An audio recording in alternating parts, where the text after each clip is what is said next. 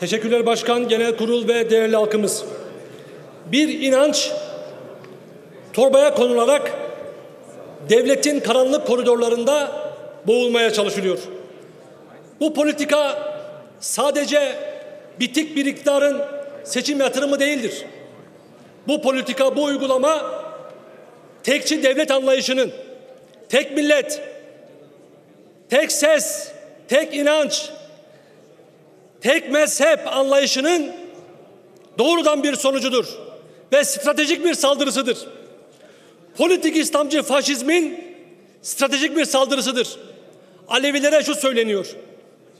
Ya itaat edersiniz ya da yok olursunuz. Önce Kürt yoktu. Sonra sonra Kürt var ama hakları yok oldu. Şimdi de Alevilik önce sapkınlıktı. Sonra cemevleri cümbüş evi oldu. Şimdi de inanç değil kültür evi ticari bir işletmeye dönüştürülmeye çalışılıyor. Devletin Alevisi, devletin Kürdü, devletin Müslümanı, devletin işçisi, devletin sendikacısı, hatta devletin solcusunu yaratmak bu anlayışın, bu tekçi anlayışın evet stratejik bir politikasıdır.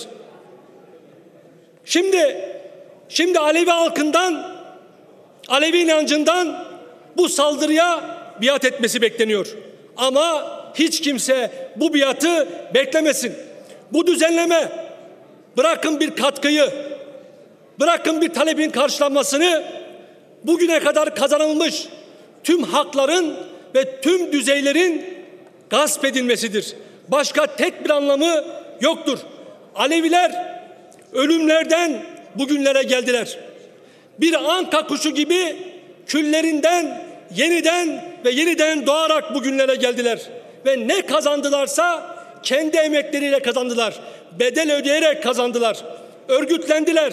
İbadethanelerini fiilen fiilen kazandılar ve kendi kültürel geleneklerini de fiilen bedel ödeyerek bugünlere getirmeyi başardılar.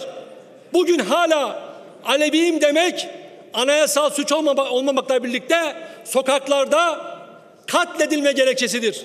Bugün hala Alevilerin kapıları işaretlenmektedir ve bunu yapan meczuplar diye tarif edilen güçler bırakın cezalandırmayı itibar sahibi olmaktadırlar. Milyonlarca Alevinin vergileriyle tarikatlar, cihatçı çeteler ve diyanet hortumlanmaktadır. Bu düzenleme tüccarlıktır. Aleviler satın alınmaya çalışılıyor. Ama yanılıyorsunuz. Evet, birilerini satın alabilirsiniz. Onların kim olduğunu anlamak istiyorsanız aynaya bakabilirsiniz. Bu düzenleme bir darbedir. Bu düzenlemeye Alevi halkının rızalığı yoktur.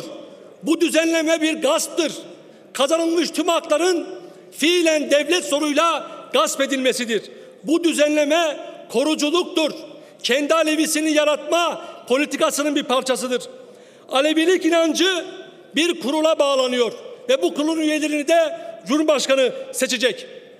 Yani Tayyip Erdoğan her şeyi belirlediği gibi Alevi inancını da belirleme cesareti ve cüretini gösterebiliyor.